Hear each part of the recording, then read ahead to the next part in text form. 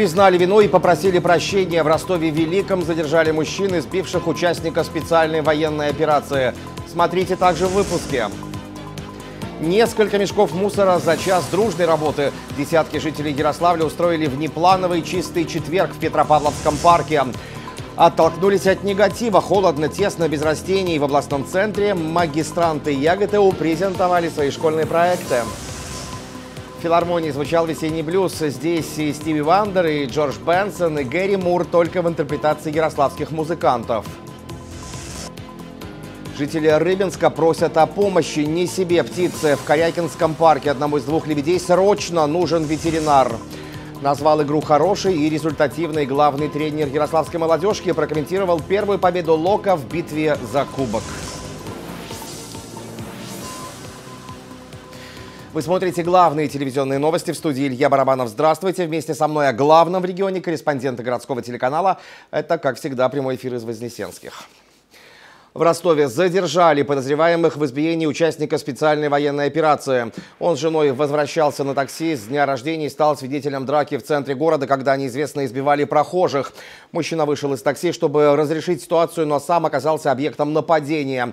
Его били ногами по голове, даже когда потерял сознание. С тяжелыми травмами ростовчанина госпитализировали. Об этом рассказывали накануне главные телевизионные новости. Оперативные мероприятия провели сотрудники Центра по противодействию экстремизму терроризму ОМВД России по Ярославской области и ростовские полицейские.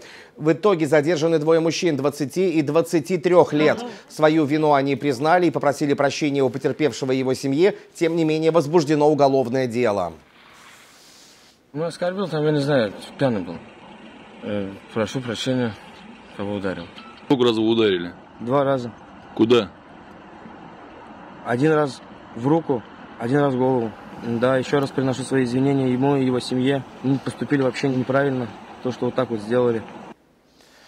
К другим информационным поводам четверга Десятки жителей Ярославля вышли сегодня на уборку Петропавловского парка. Общественники, представители различных организаций, управляющих компаний с помощью граблей, лопат, метел собрали мусор. Помогала и техника, которую предоставили коммунальные службы Красноперекопского района.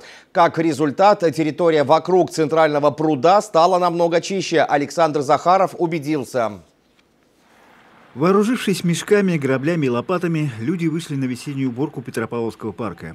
Территорию определили в районе Центрального пруда, который у всех на виду и где чаще всего гуляют люди. А соответственно, случайного мусора там больше. Впрочем, оптимизма у активистов от этого не убавилось. Дело это хорошее дело. Поэтому я считаю, все, что делается, все к лучшему. Помочь родному городу, родному району. Я думаю, святая обязанность каждого. Тяжеловато, конечно, мусора много, но мы, нас много, мы э, уберем, поможем городу. Помимо ручного труда, на уборке территории применялась техника. Был организован вывоз мусора. На призыв депутатов облдумы к импровизированному субботнику откликнулись организации района. Мы делаем упор не только на э, сбор случайного мусора, мы также будем и э, убирать и раз, деревья, которые повалены, проводить небольшую санитарную расчистку территорию. Важная работа, которая проводится в рамках субботника, это очистка водопропускных труб между каскадами Петропавловских прудов. Как мы видим, они периодически засоряются, и крайне необходимо их очистить от мусора, чтобы вода спокойно уходила дальше. Сегодня Петропавловский парк участвует в голосовании на благоустройство общественных территорий в 2025 году. По результатам он лидирует. В случае побед будет проведено его обновление в рамках федеральной программы формирования комфортной городской среды. А потому, по мнению народных избранников, необходимо привести парк в порядок. Вообще Петропавловский парк – это жемчужина Ярославской области, я не повысь этого слова. А с каждым годом а, люди меньше стали сорить. То, что мы сейчас видим, раньше э, было мусора достаточно. То, что каждый год проводим субботники, не приходит, это бесследно. Проголосовать за Петропавловский парк можно вплоть до 30 апреля. Стоит отметить, что эта территория очень живописная и требует внимания жителей, требует благоустройства. Это тихая, красивая зона, которая должна приобрести свой э, законченный вид, иметь э, определенные зоны отдыха. 20 апреля в парке пройдет масштабный субботник. Принять в нем участие может каждый желающий. Александр Захаров, Михаил Орлов. Главные телевизионные новости. И в продолжении темы жители Ярославля приглашают на генеральную уборку города. Она назначена на субботу. Областную столицу, тем не менее, приводят в порядок и сейчас. Убирают прежде всего общественные территории. Граблями и метлами поработали уже на Стрелке, Первомайском бульваре, скверах на площади Труда, территорию часовни Александра Невского и других. Собрано и вывезено 670 кубических метров листвы. В субботу принять участие в наведении порядка в городе приглашают всех ярославцев. При этом районная администрация готова обеспечить участников необходимым инвентарем. Все территории, они будут обозначены. У нас э, в субботнике принимают активное участие территориальная администрация, управляющие компании. Жители выходят, э, наводят порядок на своих придомовых территориях. По времени с 9 утра э, до часу дня, суббота. Чтобы принять участие в общегородском субботнике, необходимо обратиться в районную администрацию. Там примут заявку и определят дату вывоза мусора из той геолокации, которую горожане вызвались убирать. Ярославцы жалуются на высокие бордюры на остановке Площадь Труда. Недавно установленные каменные ограждения затрудняют вход и выход из общественного транспорта. Особенно тяжело пожилым. Они с трудом перешагивают бордюрный камень, тем более, что сейчас тротуар частично разобран. Поэтому от остановки до автобуса приходится преодолевать настоящую полосу препятствий. Я вот, так скажем, пожилой человек, у меня рука, рука болит, нога болит, а мне надо как шагать. Просто бордюр высокий, как неудобно, конечно, сами понимаете. Сейчас на улице Свободы идут строительно-монтажные работы. После окончательной установки бордюров начнется обустройство тротуара. Его приподнимут до высоты ограждения на 5 сантиметров. За счет второго слоя асфальта на магистрали вырастет и дорожное покрытие.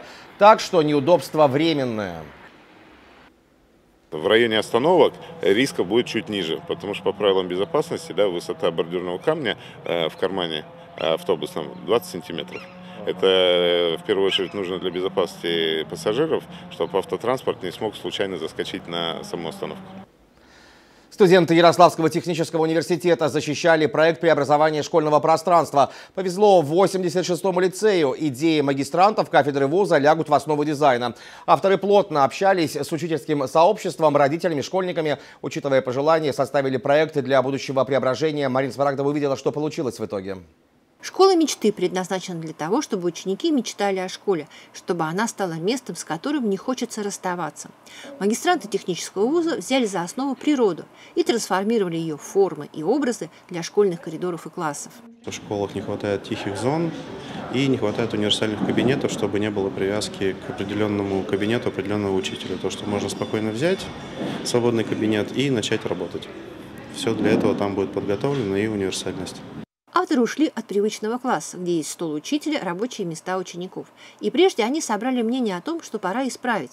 И получили ответы. Холодно, тесно, неудобно, нет растений, некрасивый цвет. Это и стало точкой опоры для фантазии архитекторов.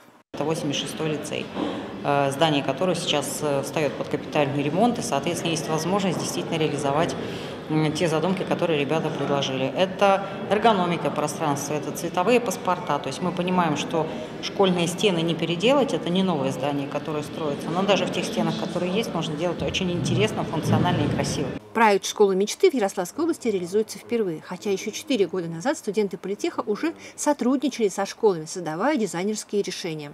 У нас осуществляется капитальный ремонт школ. А, и каждая школа, ну, как-то видит себя по-своему, хотя есть федеральные рекомендации о том, как можно было сделать какие-то уголки специальные, продвижение первых. А, места должны быть оформлены, а, которые, в которых размещены государственные символы и так далее. Вот. Но в целом каждая школа вот как-то сама выбирает, да, и из того, что может сделать. Лидер федерального проекта Наталья Кравченко пригласила авторов проекта на конкурс, который объявлен буквально вчера. На общей платформе будет создан банк практик, которым смогут воспользоваться школы всей страны. Ребята э, талантливые, э, профессиональные, подготовка у них будет очень хорошая. И э, ну, вот мы со своей стороны будем продолжать с федерального центра давать возможность для профессионального развития. Программа капитального ремонта школ продлена до 30 года, а это значит, привлечение студентов к решению социально значимых задач продолжится. Польза, прочность, удобство – это главные принципы, которыми руководствовались авторы проекта. Он может стать модульным для последующих ремонтов в школах Ярославля. Марина Смарагдова, Денис Кауров, Главные телевизионные новости. Сегодня в Ярославле прошла международная юридическая конференция. Учащиеся вузов России и Казахстана обсуждали важные вопросы правового характера на базе ЯРГУ. Здесь представили 150 докладов в 17 секциях. Работали в смешанном режиме. Были и студенты, которые выступали онлайн. Игорь Шевченко вспомнил свое юридическое прошлое. Путь в науку – юриспруденция. Участники этой конференции как опытные магистры, так и первокурсники. Всего около 500 человек. Во время доклада все как на настоящем судебном процессе. От выступающего требуется ясная правовая позиция, четкие аргументы и прямые доказательства своей правоты. Я дал определение социальному отцовству, рассмотрел, как урегулировано социальное отцовство в Российской Федерации и, и в каких моментах мы можем эту, эту позицию улучшить. Пытался а, предложить, какие мы можем включить нормы касаемо общения общения, например, с ребенком, или подачи искового заявления в суд, как раз-таки, чтобы э, как раз-таки эта связь была а, установлена. В среднем спикеру дается 10 минут, но если есть что сказать, можно задержаться и подольше. После монолога обязательные прения и разбор полетов. Подобные конференции двигают юридическую науку большими шагами вперед. Новый взгляд молодых специалистов способен освежить устоявшиеся правила и законы. Кроме того, каждый молодой юрист получает хорошую возможность попрактиковаться в публичных выступлениях и доказывании своей правовой позиции. Актуальные вопросы устройства и охраны труда, способы борьбы с современным интернет-мошенничеством и даже проблемы служебных собак. Эти и многие другие не менее интересные вопросы пытались поднять студенты. Чтобы высказаться смог каждый, ребят разделили по разным направлениям. Это секции блока цивилистика, гражданский процесс, уголовное право, криминология. Очень активный интерес наших слушателей в этом году вызвала секция криминалистики, на нее более 100 участников заявилось. Также секции по новым отраслям права, это цифровое право, секции по трудовому, финансовому праву, семейному праву и, конечно же, теория истории государства и права. Мы ставим задачи разобраться в каких-то вопросах, выработать их решения, пусть и, э, как бы так сказать, при первом да, приближении обогатить доктрину. Не забыл свои юридические корни и приехал на конференцию мэр Ярославля Артем Молчанов. Мы э, поддерживаем университет, мы поддерживаем его в этом направлении. Мы считаем, что наша Ярославская научная школа занимает достойное место. Это наша гордость, и, конечно, нужно развивать дальше вот такие направления работы. В каждой секции выберут финалистов. Все участники получат памятные подарки и грамоты. Три самых лучших доклада опубликуют в сборнике научных статей. Игорь Шевченко, Олег Вольский. Главные телевизионные новости. В Ярославле состоялся фестиваль патриотической песни в Большом зале. Концертно-зрелищного центра выступили талантливые исполнители академического эстрадного вокала. Возраста от 18 до 35. Участники приехали из Москвы, Севастополя, Чебоксар, Костромы, Майкопа и других городов. Эх, путь дорожка, звени, моя гармошка, Взгляни, как сияют нам звезды над рекой. Парни лихие, девчата огневые, Все заговорят на перебой. Вероника Сыромля, молодая, но уже профессиональная певица из Севастополя. Музыкой начала заниматься рано. В 9 увлеклась вокалом. Поет народные песни и считает музыку неотъемлемой частью своей жизни. У нас будет совместный номер, называется он «Из чего начинается Родина», очень душевный. Э, мы когда его репетировали, у меня прям мурашки были по всему телу. И я думаю, что зрителям э, тоже очень понравится, хочется донести вот этот смысл, э, смысл песни, душевности ее. Кто-то приехал не один, а в составе целого коллектива. Мы это говорим в песнях о любви к своей родине. Вот. Я думаю, что человек должен знать свою историю, потому что э, человек, который не знает своего прошлого, не имеет будущего. Я вот так думаю.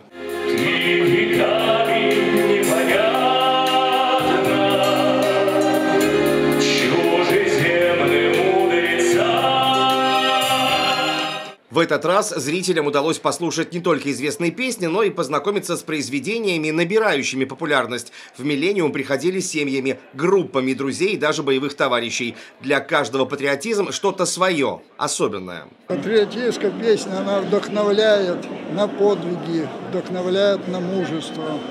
Она дает веру. Вот что такое патриот. Отсюда и слово-то патриотизм. Мне кажется, что это очень важно непосредственно для молодого какого-то населения, детей и для взрослых точно так же.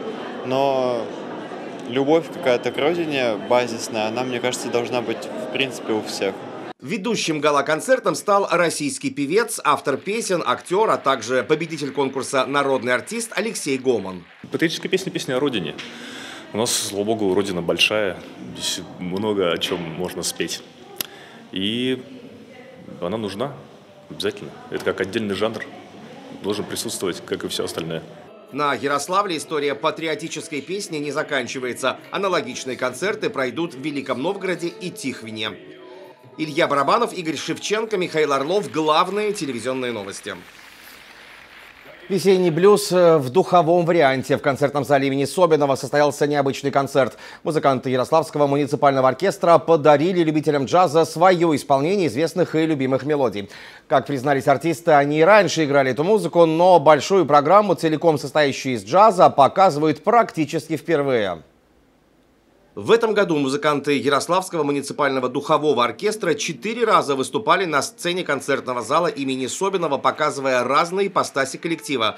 Сезон завершили красиво, весенним блюзом. Популярные джазовые стандарты в исполнении духовиков, которых ярославцы привыкли видеть в другом амплуа, собрали аншлаговый зал.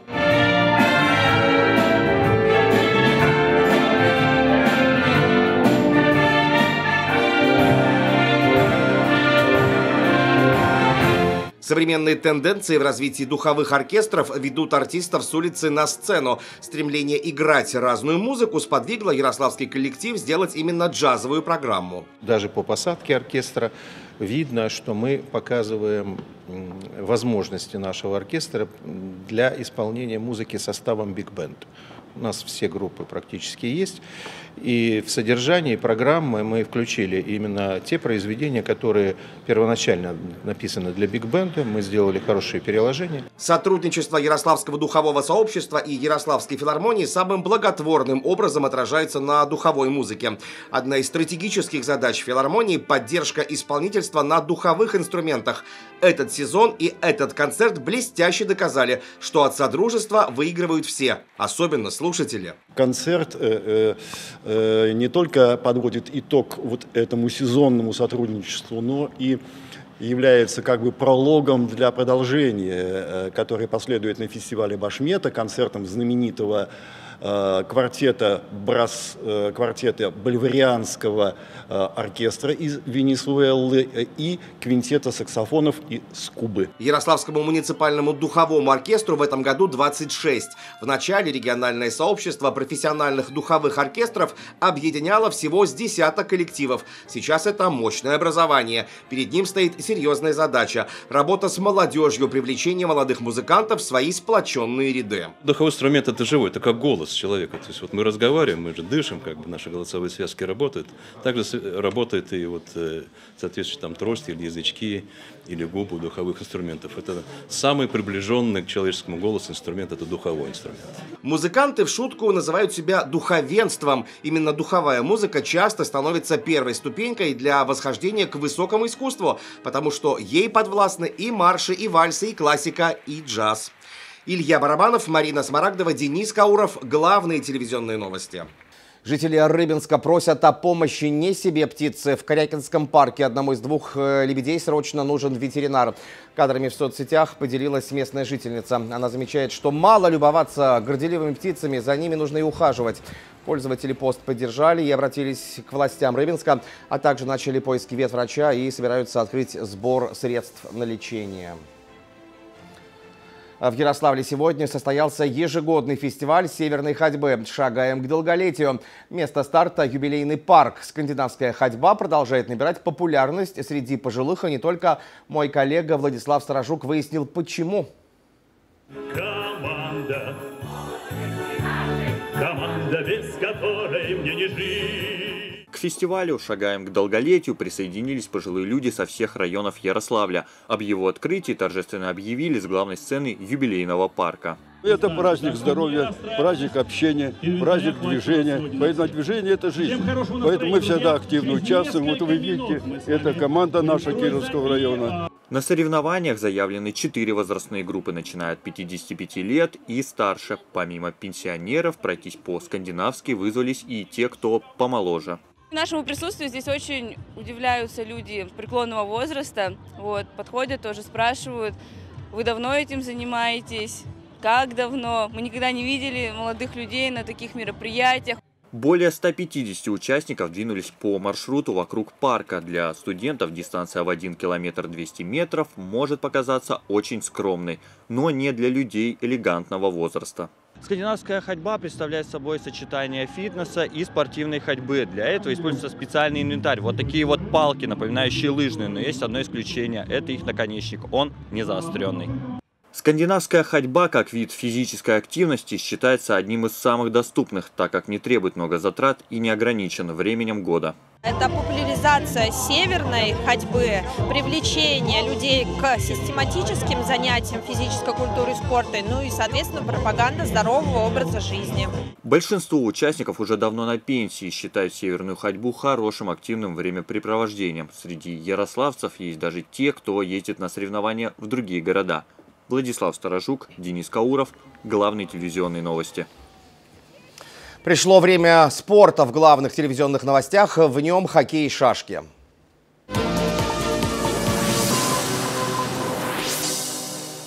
К весне готовы? Шок готов! Встречайте новый весенний ассортимент одежды и обуви по шокирующе низким ценам. Шок! ТЦ «Яркий», второй этаж. Ярославский «Локомотив» начал битву за Кубок Гагарина. В первом матче финала железнодорожники потерпели поражение от магнитогорского «Металлурга». Счет в гостевом матче 1-2. В нашей команде заброшенной шайбой отметился нападающий Максим Березкин. Счет в серии 0-1. Следующая встреча для подопечных Игоря Никитина пройдет в субботу в Магнитогорске. Получилась хорошая и результативная игра. Надо уделить внимание больше обороне. Так, на послематчевой пресс-конференции старт финальной серии Кубка Харламова прокомментировал главный тренер Лока Олег Таубер. Ярославские железнодорожники выиграли у петербургского СКА 1946 со счетом 6-3. Ярослав Лабуткин мощным броском реализовал первую шайбу в ворот соперника. Петербуржцы смогли сравнять цифры на табло, но следом Илья Роговский забил. В составе Лока также отличились Дмитрий Ябелов, два Максима, Коростелев и Мальцев, Егор Сурин. Сейчас команда Таубера ведет в серии 1-0. Следующая встреча в пятницу в Ярославле. Эмоций немного не хватало. Вышли. Вроде бы игра финала, да, кубок стоит, но выходишь по эмоциям, как будто матч регулярки. То есть ответственность есть у тебя, да, а вот эмоций таких именно, как вот с Чайкой, не хватает. Думаю, вот после такой победы они как раз нарастут, и в следующей игре будет еще лучше. Это задание на игру, играть агрессивно, просто иногда не всегда получается, иногда соперник не позволяет, иногда где-то ребята молодые, ведя в счете, чуть теряют концентрацию. Ярославский шашист Иван Смурков завоевал 5 медалей. Он показал отличный результат на чемпионате и первенстве России по русским шашкам среди слабовидящих. Проходило все в Костроме. В тяжелейшей борьбе Иван поднялся на первую ступень пьедестала в классической программе и блице чемпионата. А на первенстве в копилке нашего гроссмейстера три золота. Ярославец на турнире оказался непобежденным за всю историю своего участия. Уже в мае Смурков в составе сборной страны выступит на чемпионате мира в Турции, и мы ему желаем исключительно победы. Пришло время рубрики «Ярославская история». Сегодня в ней последняя серия, посвященная храму Ильи Пророка. В 2018 году поновили кресты. Их сняли в сентябре и отправили реставраторам. Нужно было снять ржавчину, зашпаклевать, по идеально ровной поверхности начать золочение. Любопытно, что родные, как говорят, кресты оказались в лучшем состоянии, чем сделанные в 50-х годах прошлого века. Вероятно, приглашались первоклассные мастера. Технология очень сложная. Тут и литой металл, и прорезной с орнаментом. После чина освящения кресты вернулись на главки. Внутри храма годом раньше, в 2017 был отреставрирован главный портал. Проведена большая научная работа. Это такая картина жизни, представление об этом жизни. И вот чем больше ты этим занимаешься, тем больше кажется, что ты узнаешь просто лучше этих людей. Это, конечно, большая иллюзия, но тем не менее, я думаю, что это такой вот путь познания прошлого, не просто искусства как такового, а вообще жизни и человека того времени. В 1989 году главный престол храма Ильи Пророка был вновь освящен, и в летнее время здесь проводятся богослужения. Музей же работает с мая по октябрь. Ограда церкви – своеобразный индикатор для фотографий, поскольку она появилась только в 1896 году. Теперь можно определить возраст снимка. Если нет ограждения, значит фото более раннее. Рисунок для ограды церкви выполнил академик Императорской академии художеств Андрей Михайлович Павлинов, архитектор, археолог, реставратор, историк русской архитектуры, хранитель оружейной палаты. Кованные узоры гармонично опираются на каменное основание. Столбики украшены изразцами с фигурками фантастических животных.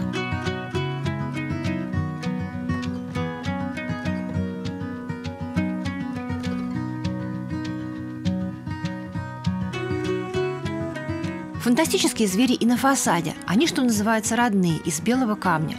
Уморительные львиные морды. Мастера никогда не видели экзотических зверей, потому и творили свободно. Когда в 1778 году Ярослав получил план регулярной планировки, то именно храм Ильи Пророка стал центром радиально-кольцевой застройки, а рядом расположилась Ильинская площадь, ныне советская. На ней проходят все главные праздники Ярославля. Грандиозный юбилейный концерт Виктора Королева. Праздник песен, спетых сердцем и душой великого маэстро. 30 апреля. КЗЦ «Миллениум». Ну и сейчас к погоде переходим.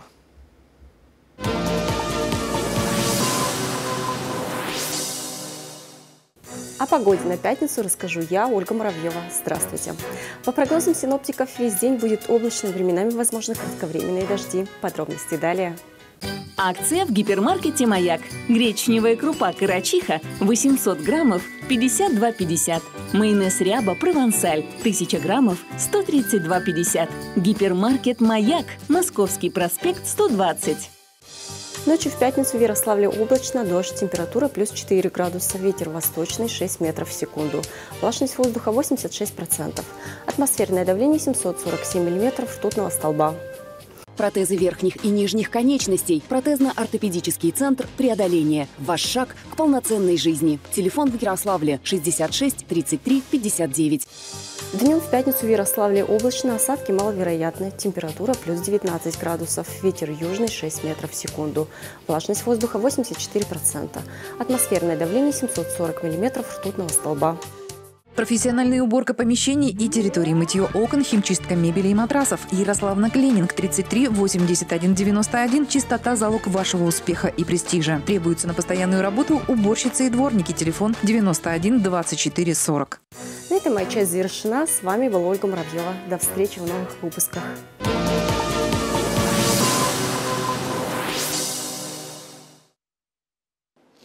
Через мгновение в эфире фильм «Мосты округа Мэдисон». В их сердцах вспыхивает сильное чувство, но на любовь, о которой они мечтали всю жизнь, им отпущено лишь 4 дня. В главных ролях легенды Клинт Иствуд и Мэрил Стрип. Приятного просмотра, кто-то и поплачет. Много информации на сайте gtk.tv, в телеграм-канале, официальном паблике во Вконтакте и на популярных видеоплатформах. Сообщайте об интересном и волнующем редакцию. Телефоны 72 1170 72 1180. Вы смотрели главные телевизионные новости. В студии работал Илья Барабанов. Спасибо за внимание. Обязательно увидимся. Счастливо.